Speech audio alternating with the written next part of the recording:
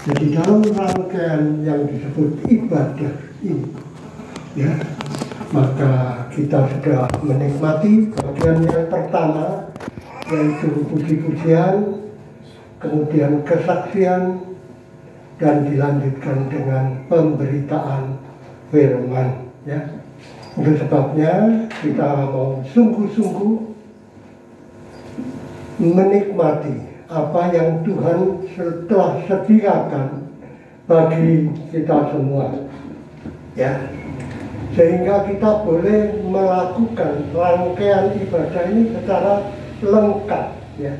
Secara lengkap sehingga apa yang kita harapkan apa yang menjadi tujuan kita di dalam ibadah ini maka kita akan memperoleh ya, dengan sepenuh.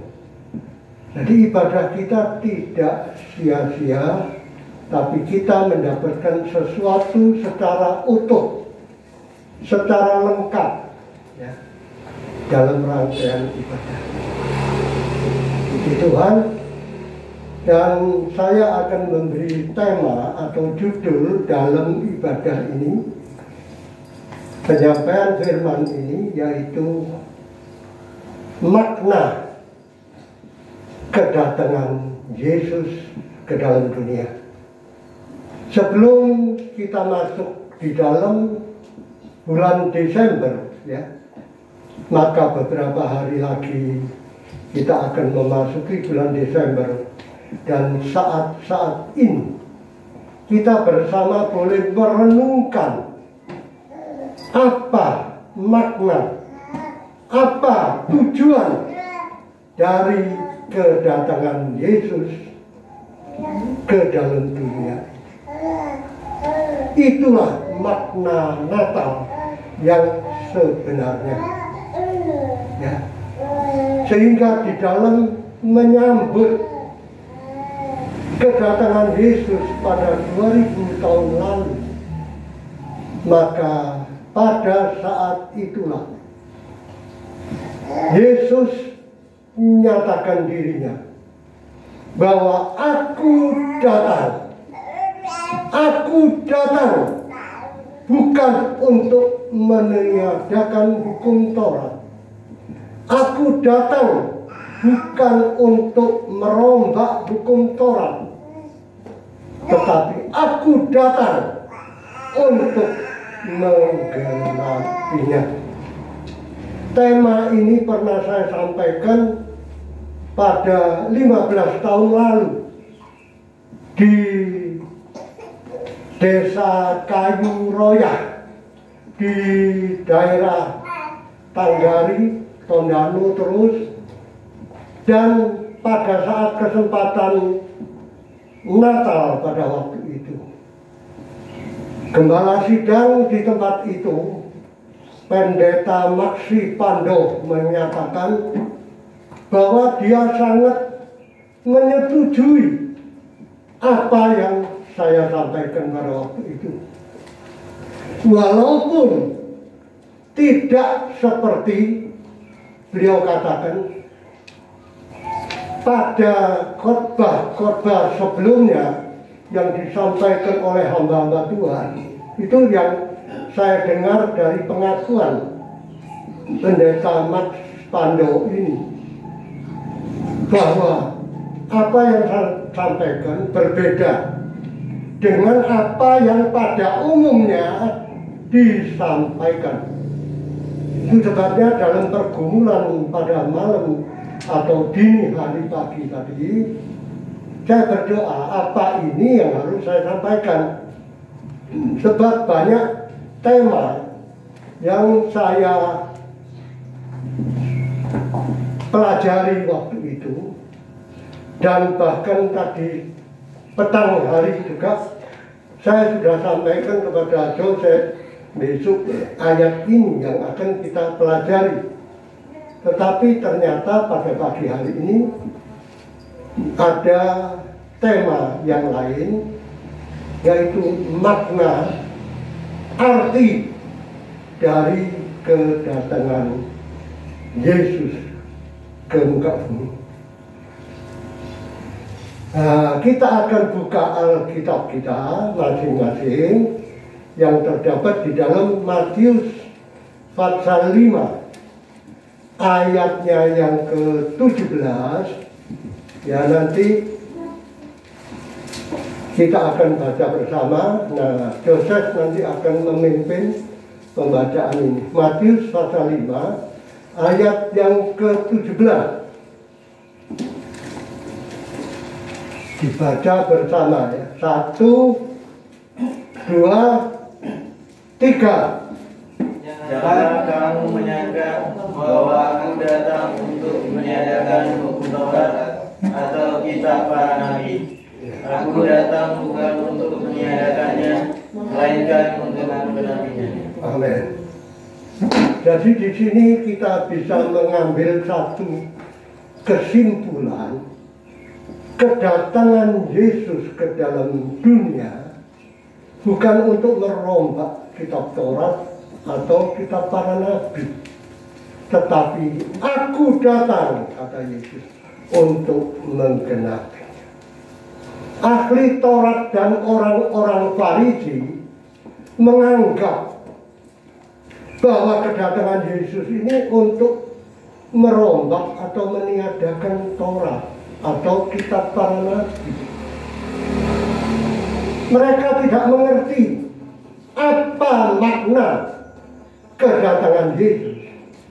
Sehingga mereka menganggap, menyangka bahwa kedatangan Yesus adalah untuk merombak Taurat. Sehingga ahli Taurat ini selalu berprasangka buruk akan kedatangan Yesus. Sehingga mereka selalu menganggap ya, menyangka bahwa kedatangan Yesus ini untuk meniadakan Taurat. Tetapi jikalau kita mempelajari apa yang kita telah baca tadi, Yesus menyatakan diri datang ke dalam dunia bukan untuk meniadakan Taurat, tetapi untuk menggenapinya. Dalam kata lain menggenapi yaitu menyempurnakan menyempurnakan Taurat yang pada waktu itu diberikan kepada bangsa Israel sebagai penuntun untuk membawa umat Israel ini dari Mesir ke Kanaan. Yesus menyatakan dirinya sebagai penggenap Torah. Sebab kalau Torah itu sudah sempurna, maka sudah cukup. Yesus tidak perlu datang lagi ke dalam dunia. Itu sebabnya saat Yesus datang ke dunia menyatakan bahwa dia tidak akan merombak dia tidak akan menghilangkan kitab dari para nabi, tetapi untuk menggenapi, menyempurnakan dalam bahasa Yunani teologios, artinya menggenapi, menyempurnakan, melengkapi. Jadi artinya untuk melengkapi sesuatu yang masih belum lengkap.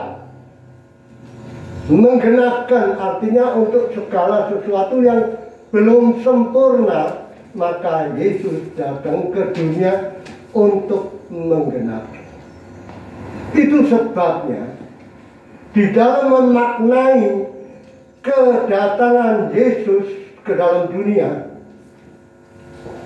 dia adalah firman yang telah menjadi manusia. Dan ada di antara kita Seringkali di dalam memaknai kedatangan Yesus ini, kita tidak melihatnya dengan mata rohani kita. Begitu besar kasih Bapa akan isi dunia, sehingga dikaruniakan anaknya yang tunggal, yaitu Yesus Kristus. Dia datang untuk menggenapi hukum Taurat yang masih kurang. Itu sebabnya ahli Taurat dan orang Farisi ini tidak bisa melihat kemuliaan Tuhan yang dinyatakan atas dunia ini. Sehingga mereka selalu mencari-cari kesalahan yang Yesus lakukan. Seperti saya yang tidak bisa melihat mata yang sudah buta ini tidak tahu apa yang terjadi di sekeliling kita. Tidak tahu apa yang ada di depan saya. Saya tidak tahu. Karena mata saya buta. Itu sebabnya orang yang memiliki mata yang buta itu berada di dalam kegelapan. Siang maupun malam itu selalu merasa gelap. Ya. Tidak ada terang di dalam kehidupannya. Sehingga tidak bisa melakukan apa-apa yang bisa dilakukan. Mencari sepatu saja tidak bisa. Harus ditolong oleh orang lain makan tidak tahu apa yang ada di depannya, apa yang harus dimakan, tidak tahu. Jadi kadang-kadang Oma ini selalu bertanya, mau makan apa hari ini? Mana-mana juga. Apa pun yang disajikan di depan aku, aku makan. Karena aku tidak bisa membedakan makanan mana ini rica. Satu saat Oma memberikan makanan ya nasi lauk pauk juga diberi rica nah opa tidak tahu kalau itu rica yang ada di pinggir. Hingga opa sendok. Itu sebabnya opa kalau makan sekarang pakai tangan. Sehingga tangan ini bisa meraba ini rica ini sayur bisa diraba ini nasi ya. Jadi tangan ini sangat membantu. Apa yang upah kerjakan? Misalnya cuci piring upah raba saja. Tidak bisa melihat. Ya itu yang terjadi pada orang buta. Saya buta sejak umur 79 ya, jadi dua tahun lalu. Maka sebelumnya memang sudah kabur. Mata sebelah kiri sudah tidak dapat melihat. Tapi mata kanan masih bisa melihat. Waktu itu sehingga dengan satu mata masih boleh melakukan pekerjaan seperti kerja jam apa masih bisa tapi pada saat tahun 79 akhir itu saya mulai parah sehingga tidak bisa melihat kabur sekali sehingga pada satu saat pekerjaan itu harus diganti oleh Pak Gembala karena benar-benar sudah tidak bisa bekerja lagi. Dan itulah keadaan orang buta. Yang Yesus katakan, ahli Taurat ini mempunyai mata, mempunyai telinga, tetapi mereka tidak bisa melihat. Karena apa yang mereka lihat hanya hal-hal yang jasmani, hal-hal yang ada yang dapat dilihat. Nah, Yesus memberikan satu arahan agar para ahli Taurat dan orang Farisi ini memiliki mata untuk melihat dan telinga untuk mendengar sehingga mereka dapat melakukan segala sesuatu itu secara sempurna secara lengkap, secara utuh. Dan itu sebabnya Yesus datang. Aku datang. Dan itu sesuatu yang sangat bernilai yang tidak bisa dimengerti dengan pikiran kita secara manusia. Itu sebabnya makna Natal ya. Sebelum kita nanti masuk bulan Desember, di mana seluruh umat manusia, baik yang Kristen maupun yang non-Kristen, semua beramai-ramai menyambut kedatangan Sang Juru Selamat, Mesias. Tapi pengertian kita apakah sudah sampai pada tujuan yang dimaksud oleh Bapak mengutus anaknya ke dalam dunia itu yang tidak dimaknai secara utuh. Murid-murid Tuhan juga demikian. Mereka memaknai kedatangan Yesus datang ke dalam dunia sebagai Mesias, Juru Selamat untuk membebaskan mereka dari perbudakan. Perbudakan ini adalah suatu posisi yang begitu sangat mengerikan. Tidak berarti suatu yang menyenangkan.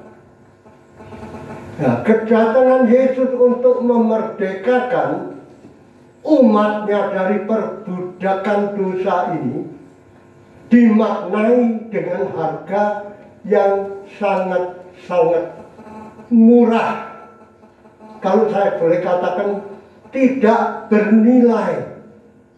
Sehingga orang-orang Kristen memaknai Natal ini, kelahiran Yesus ini sebagai sesuatu yang hanya sebatas hal-hal yang duniawi saja.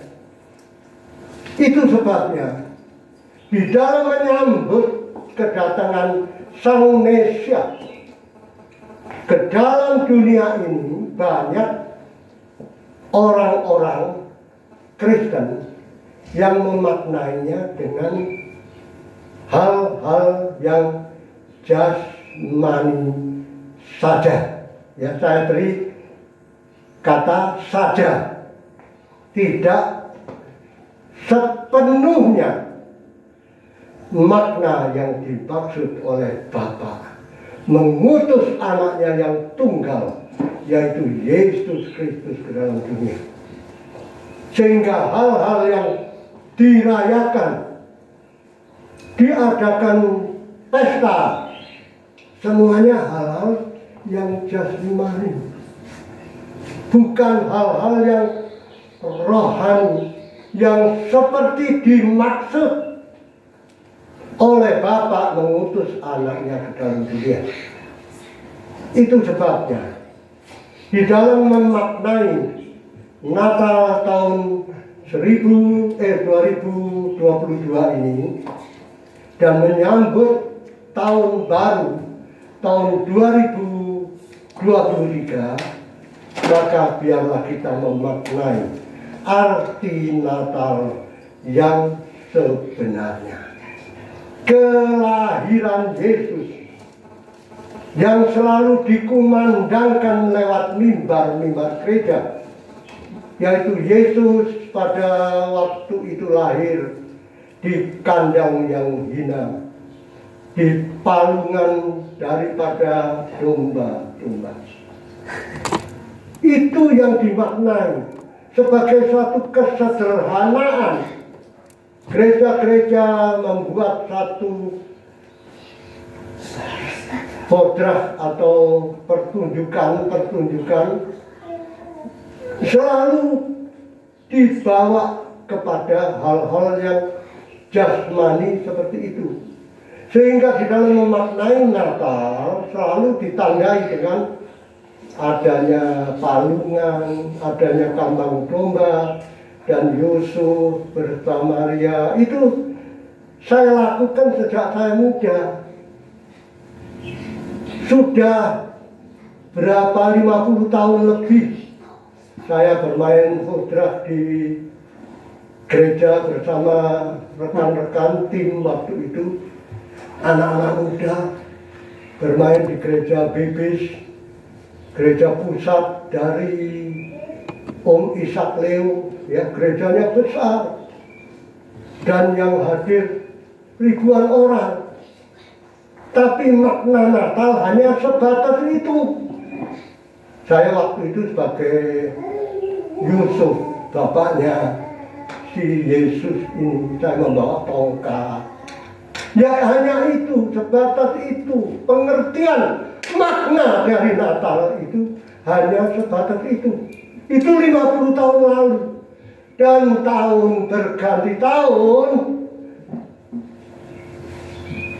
tetap makna Natal itu sebatas itu. Sehingga tidak bertumbuh, tidak berkembang kepada satu pengertian yang benar tentang makna Natal ini yang benar. Sehingga orang-orang Kristen tetap dibuai oleh kenyataan-kenyataan hidup yang seperti itu. Tetapi yang sangat menyedihkan gereja Tuhan telah kehilangan makna Natal yang sebenarnya. Arti dari Natal kedatangan Yesus ke dalam dunia untuk menyatakan dirinya bahwa dia datang bukan untuk meniadakan Taurat atau kitab para nabi tapi aku datang untuk menggenapi itu sebabnya. Biarlah kita sungguh-sungguh memaknai arti Natal ini dengan seperti apa yang dimaksud oleh kedatangan Yesus ke dalam dunia ini. Itu sebabnya. Biarlah kita mau bersama-sama menyambut kedatangan Yesus ke dalam dunia ini dengan apa yang dimaksudkan. Seringkali kita menghargai kedatangan Yesus itu begitu murah. Hanya sebatas hal-hal yang jasmani. Sebenarnya tidak begitu murah. Kalau kita menghargai kehadiran Yesus ke dalam dunia ini hanya sebatas itu, maka kita tidak lebih baik dari si Yudas Iskariot yang menjual Yesus hanya dengan 30 keping perak. Harga seorang budak belian yang pada waktu itu harga seorang budak itu hanya 30 keping perak. Sebab itu kita mau memaknai kelahiran Yesus ke dalam dunia ini sebagai sesuatu yang begitu mulia, begitu berharga, sehingga tidak dapat kita bayar dengan apa pun. Kalau kita misalnya dapat hidup seribu tahun di dalam dunia ini, sekalipun, maka kita tidak cukup untuk membayar harga korban Kristus yang begitu mahal. Itu sebabnya kita mau menghargai apa yang Tuhan telah karuniakan di dalam kehidupan kita. Kira-kira 15 tahun lalu, seorang ibu berkata kepada saya, waktu itu zaman masih zaman efek ya, sebagai wali kota dia katakan, oh kita mau ke wali kota. Kenapa? Ada pembagian. Tiap orang dapat 100 ribu. Mereka berbondong-bondong mengajak keluarganya rame-rame untuk datang ke rumah dinas wali kota. Berbondong-bondong hanya untuk harga yang mereka dapat 100 ribu rupiah tiap orang. Apakah itu? Apakah hanya sebatas itu? Kalau kita bersama menyambut kedatangan Sang Mesias yang begitu mulia, dia telah mengosongkan dirinya. Datang ke dalam dunia. Menjadi manusia sama dengan kita.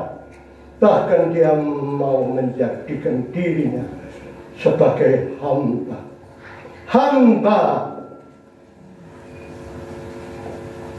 yang hanya menurut apa yang dia telah bayar bagi kita melalui kematiannya di atas kayu.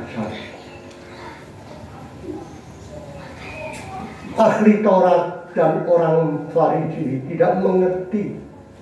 Mereka hanya tahu sebatas apa yang dilihat dengan mata. Tetapi mereka tidak mau meneruskan perjalanan mereka, pengertian mereka akan harga yang telah dibayar oleh Yesus. Di atas kayu salib Golgota. Itulah puncak dari harga yang telah dibayar bagi kita. Penebusan dosa. Itu sebabnya pada saat ini saya tidak akan ber khotbah lama. Jadi hanya sebatas apa makna, arti Natal yang sebenarnya Tuhan telah nyatakan kepada.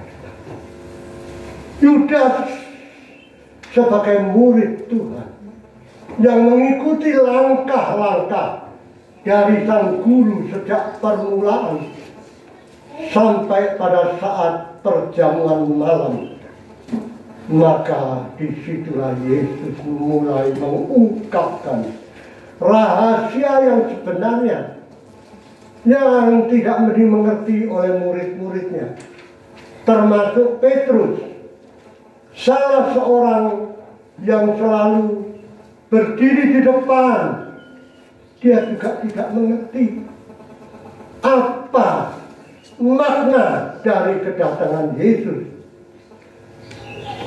sampai kepada sengsara di kayu salib. Ya, itu sebabnya kita menghargai apa yang Tuhan telah berikan kepada kita. Jangan sampai kita merasakan diri kita ini tahu, padahal kita tidak tahu apa-apa. Jangan sampai saya merasa saya sudah tahu banyak, tetapi sebenarnya saya tidak tahu apa-apa. Karena saya tidak mengerti makna dari apa yang Yesus maksudkan. Apa yang Bapak maksudkan. Tujuan apa Yesus datang ke dalam kita. Sehingga kita sering kali menghargai karunia Bapa. Anugerah Bapa yang begitu besar dengan nilai begitu murah. Kemudian lanjut, ibu tadi berkata kepada saya, datang ke wali kota dapat doi. Ke gereja A dapat doi. Waktu itu 50 ribu cuma ke gereja B dapat doi lagi Natal. Donat istilahnya dia katakan donat. Jadi kalau saya Natal ini safari keliling. Ke gereja A dapat doi 50 ribu. Gereja B dapat doi 50 ribu gereja C dapat 50 ribu waktu itu saya belum mengerti makna Natal. Sehingga saya katakan, oh enak ya bu, dapat dari Natal banyak. Oh iya, kalau kita pergi ke lima gereja, kita dapat doi 250 ribu. Nah, itu sebabnya tidak semurah itu. Tidak semurah itu. Kita harus memaknai Natal. Kedatangan Yesus ke dalam dunia. Sebagai kegenapan hukum. Sebab pada zaman Torah manusia mengerti persembahan itu apa. Yaitu mempersembahkan sesuatu kepada Tuhan dengan mengorbankan kambing, domba, sapi, lembu ya. Itu sebagai persembahan yang dianggap itulah suatu persembahan tapi di dalam perjanjian baru Rasul Paulus memberikan pencerahan kepada jemaat di Roma pada waktu itu yang mengatakan Aku tahu supaya kamu mengetahui hal ini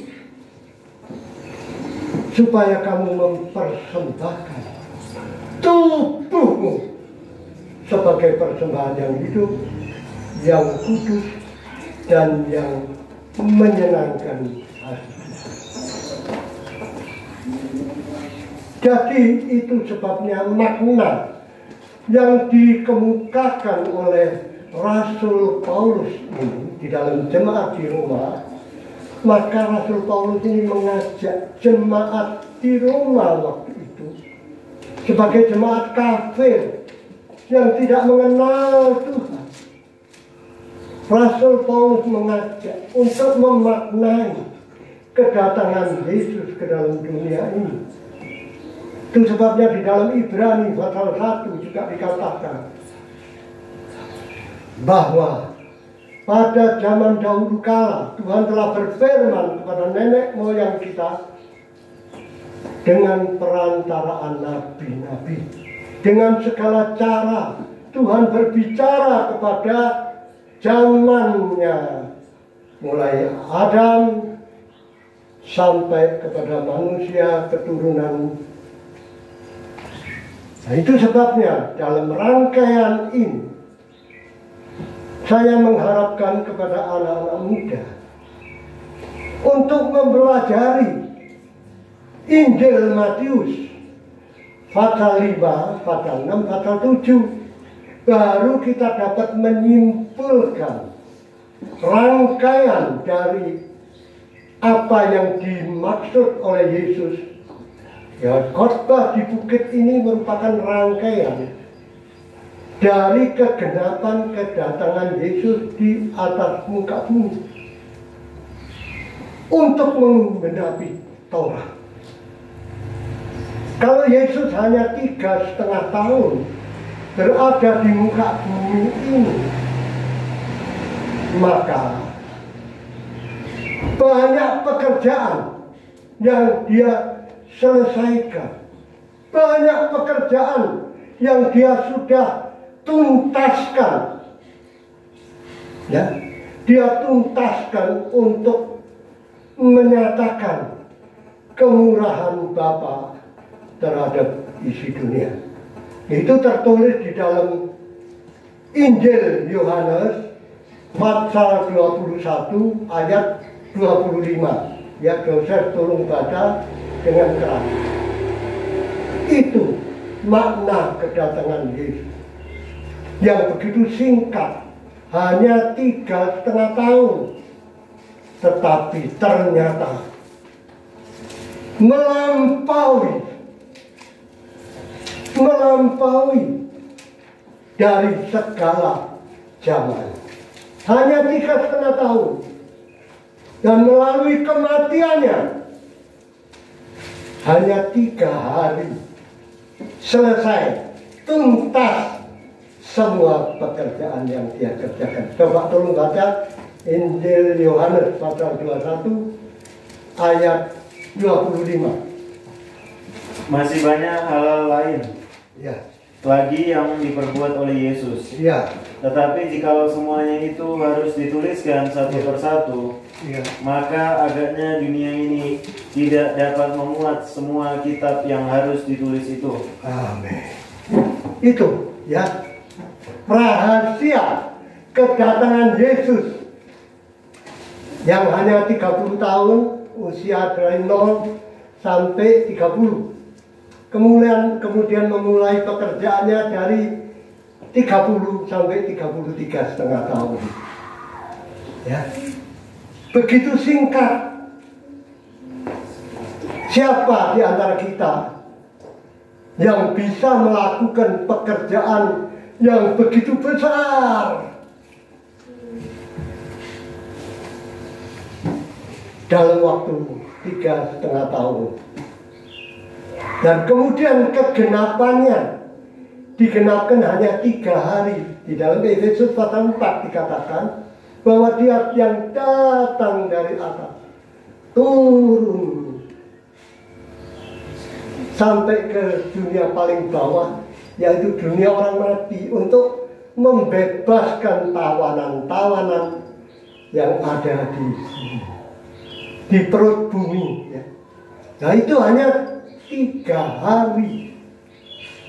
Nah, tadi Injil Yohanes menyebutkan bahwa dalam pasal 21 ayat 25 ini bahwa kalau segala apa yang diperbuat dilakukan oleh Yesus ini ditulis maka tidak cukup seluruh kitab yang ada di. Ya, tidak cukup. Begitu banyak pekerjaan yang dia selesaikan dalam waktu yang singkat. Itu sebabnya. Dalam Matius pasal 5 sampai Matius pasal ketujuh itulah satu rangkaian yang dinyatakan di dalam Alkitab kita. Itu sebabnya saya katakan kepada anak-anak muda waktu itu, kalau opak mau jelaskan dari Matius pasal 5 sampai pasal 7 saja, maka lima tahun tidak cukup. Ya. Sebab itu merupakan ringkasan, ringkasan dari makna kedatangan Yesus yang sebenarnya. Kalau kalian membaca, Bapak katakan kepada anak-anak muda, membaca itu pelajari, maka itu sudah merupakan rangkaian khotbah yang tidak akan habis-habis, tidak akan kekurangan bahan, karena Tuhan telah sediakan semua itu kepada kita. Semua. Ya. Bukan hanya untuk pendeta-pendeta atau pengkhotbah-pengkhotbah. Tapi kita harus memiliki doktrin yang benar berdasarkan Alkitab supaya kita tidak mencari-cari dari ajaran-ajaran lain supaya murni seperti apa yang dikehendaki oleh Tuhan dalam kehidupan kita. Itu sebabnya Rasul Paulus dengan tegas mengatakan, jikalau ada orang yang memberitakan Injil yang lain daripada apa yang aku beritakan, terkutuklah dia. Baik malaikat, siapa pun tidak peduli. Injil yang lain Rasul Paulus begitu tegas, begitu berani menyatakan karena dia mengenal siapa Yesus itu. Dia mengatakan, Rasul Paulus, aku tahu kepada siapa aku percaya, yaitu kepada Yesus Kristus. Itu sebabnya Rasul Paulus seorang rasul yang dipakai oleh Tuhan untuk menuliskan. Dalam perjanjian baru ada 27 kitab. 13 kitab ini ditulis oleh rasul-rasul, oleh orang-orang yang berkenan diberi wahyu oleh Tuhan untuk menulis. Tapi Rasul Paulus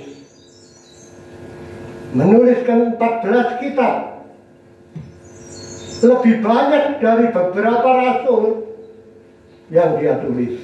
Seorang diri dia menuliskan 14 kitab. Kenapa? Karena Rasul Paulus sebagai Rasul yang telah diangkat oleh Tuhan naik ke langit tingkat ketiga. Dan dalam waktu yang singkat Tuhan menunjukkan segala rahasia yang ada. Itu sebabnya kita sebagai orang Kristen jangan terpaku hanya kepada hal-hal yang jasmani. Dan di dalam Matius pasal 5 sampai pasal 7 itu dirangkai dalam satu rangkaian yang lengkap. Doa Bapak kami diajarkan di situ. Ya. Nah, doa Bapak kami saja kalau dijelaskan secara rinci itu makan waktu yang panjang. Pengertiannya sangat dalam sekali. Ya, sehingga Matius pasal 6 rahasia-rahasia yang tidak ada di dalam kitab suci kita itu dinyatakan. Karena apa? Karena Yesus datang dari surga, tempat yang maha tinggi, tempat yang transenden, yang tidak bisa dijangkau oleh apa pun. Bapak yang maha tinggi menyatakan dirinya menjadi manusia sama dengan kita. Itu sebabnya segala rahasia yang dinyatakan oleh Yesus sudah dinyatakan tetapi dengan perumpamaan perumpamaan sehingga kenapa karena rahasia itu begitu dalam sehingga tidak mungkin ditampung oleh pemikiran kita yang terbatas ini. Sehingga itu sebabnya Yesus datang sebagai manusia, menyatakan dirinya sebagai manusia sama dengan kita, supaya kita dapat mengerti, memahami apa maksud kedatangan Yesus. Ya, itu sebabnya biarlah kita mau belajar seperti Pak Toyo tadi katakan dalam kesaksiannya, dia belajar Alkitab, membaca kitab suci, pada malam dini hari. Dia belajar membaca sehingga dapat mengerti rahasia-rahasia yang Tuhan telah nyatakan bagi dia. Jadi kalau saya menyimpulkan kesaksian dari Pak Toyo tadi adalah satu anugerah kemurahan bagi beliau yang sudah lanjut usia. Sama dengan saya, lebih tua beliau satu bulan kalau saya nanti bulan Maret baru 81, beliau pada bulan Februari ya Pak Tuyo ya. Iya, iya. Februari berusia 81. Jadi beliau lebih tua satu bulan dua hari. Ya. Satu bulan dua hari dari saya. Nah itu adalah kesempatan. Seperti tadi nyanyian yang dikatakan, hidup ini adalah kesempatan di mana Pak Toyo akan dipakai untuk menyaksikan kebesaran, kemuliaan, keajaiban dari Tuhan. Untuk anak-anak muda, untuk anak-anak muda mendengar apa yang dialami oleh hambanya ini. Ya, saya bersuka cita. Kalau saya juga pada ini saat ini diberi kesempatan untuk boleh berdiri di sini sebagai pemberita firman. Sesuai dengan apa yang Tuhan telah anugerahkan kepada hambanya ini. Sesuai dengan karunia yang Tuhan berikan kepada hambanya ini. Biar hamba boleh mempersembahkan hidup ini untuk kemuliaan hormat tadi. Anak-anak muda yang opak kasih. Marilah kalian kerjakan apa yang Tuhan telah karuniakan kepada kita. Untuk kalian melakukan sesuatu yang berguna. Jam berapa saudara? Jam Ya. 11 kurang 10. Ya, Jam 11 kurang 10. ya. Tadi agak telat ya.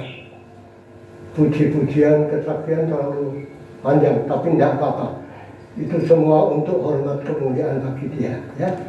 Jadi kita tidak usah terpaku dengan liturgi atau tata cara gereja dan kita mau semuanya tujuannya untuk kemuliaan bagi dia.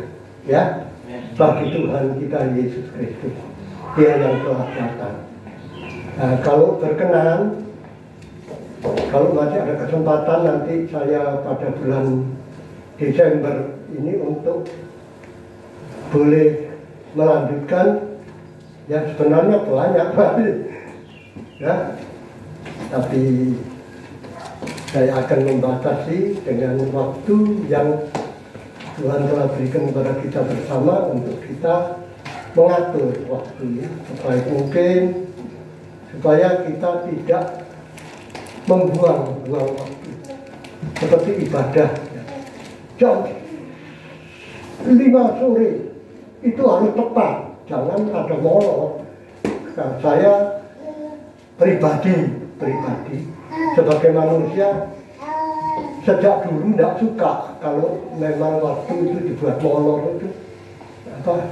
Jam karet istilahnya. Saya tidak suka. Sejak di Surabaya. Nah, nanti kita akan mempelajari pada waktu mendatang. Itu hari kita sudah sampaikan ya. Ingat satu Korintus pasal 3 itu kelanjutan sebenarnya dari rangkaian apa yang Opak sampaikan pada waktu itu yaitu tentang Matius pasal 7 berbicara dari dua macam dasar. Kita berusaha kalau mendengar khotbah itu baik-baik disimak. Temanya apa? Penyampaiannya bagaimana? Itu perhatikan baik-baik ya. Supaya kita mudah mengingat, mudah mengingat jadi waktu permulaan khotbah itu apa yang disampaikan? Kemudian penyampaiannya apa? Itu supaya mudah diingat, tidak lupa gitu ya. Caranya ini Pak beri tips cara untuk mengingat khotbah itu. Ya. Seperti khotbah minggu lalu dari Pastor Yunus ya, minggu lalu ya. Coba ini kemarin Pak sudah bilang sama Oma. Nanti siapa yang bisa menjawab? Tidak boleh nerpek, tidak boleh lihat HP atau Alkitab, tidak boleh nerpek. Ya, apa kalau istilahnya di sini nyontek ya, tidak boleh nyontek dari apa itu, tidak boleh ber- apa melihat Alkitab ya. Apa yang telah disampaikan oleh Pastor Yunus sebagai inti atau tema dari khotbah saat itu. Siapa yang masih ingat? Hubungan dengan Yesus. Membangun hubungan pribadi dengan Ya. Yesus. Ya. Jadi penyampaiannya apa? Waktu itu eklesia, ya betul. Gereja Tuhan. Ya. Nah itu kita pegang dulu. Eklesia, gereja ini bukan gedungnya, ya begitu ya. Tapi orang-orang yang di dalam gedung itu, yaitu kita, ya. Diambil dari kisah para rasul, ya. Nah itu cara men, men- apa, mengingat. Itu. Ini opak cuma beri intermezzo. Ya. Intermezzo artinya penyegaran, penunjuk apa, bagaimana cara kita mengingat khotbah. Nah, itu sebabnya memaknai apa inti. Nah, itu kita pelajari eklesia. Eklesia artinya persekutuan. Persekutuan berjemaat dan persekutuan pribadi seperti apa yang tadi disampaikan oleh kesaktian Pak Toyo bahwa beliau bersekutu dengan Tuhan secara pribadi. Nah, itu diajarkan di dalam Matius pasal 5 ya. Terus kita harus tahu cara memberi kepada Tuhan itu disebut persembahan. Ya. Tapi kalau yang dimaksud oleh Yesus memberikan sedekah, sodakoh itu kepada orang-orang yang membutuhkan itu sesama kepada sesama kita dan persembahan itu kepada Tuhan. Nah, itu itu nanti akan opak kupas pada kesempatan mendatang ya. Opak ini apa ya? Orangnya memang suka belajar sehingga keuntungannya sejak menjadi orang Kristen itu opak pelajari Oh Pak pelajari dengan sama apa arti kekristenan. Nah itu sebabnya sehingga memudahkan kalian untuk bertumbuh. Makna apa? Ibadah dari bangsa-bangsa lain terhadap dewa-dewa itu opak pelajari karena sebelum menjadi Kristen opak ini penganut agama agama lain ya. sehingga apa yang Pak pelajari ternyata oh ini hanya sebatas jasman tapi kekristenan memiliki inti yang jauh melampaui dari semua agama di dunia. Benar. Nanti Opa akan buktikan pada kesempatan mendatang ya. Opa akan buktikan kalau agama lain itu itu sebabnya opak juga memberikan pelajaran kepada anak-anak didik anak-anak muda ini kalian harus belajar sejarah kalian harus juga belajar budaya kalian juga harus belajar adat istiadat mengenai suku dari orang-orang di mana Anda tinggal. Sebab banyak suku di Indonesia ini. Nah, di situ bermacam-macam budaya, adat istiadat, dan sejarah. Jadi kita tidak boleh ngawur, ya ngawur apa itu? Asal-asalan bicara ini salah, ini salah, ini salah. Tidak, kita harus berdiri atas dasar Alkitab. ya, supaya kita tahu, paham kekristenan itu apa. Itu ya. Puji Tuhan supaya kita sama-sama bertumbuh, bertumbuh dan berbuah-buah untuk kemuliaan bagi Dia. Amin. Amin.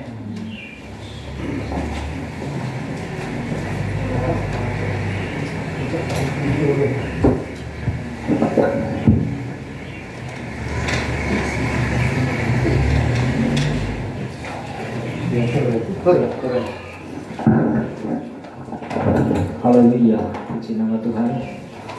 Firman Tuhan yang sungguh indah yang telah diajarkan kita semakin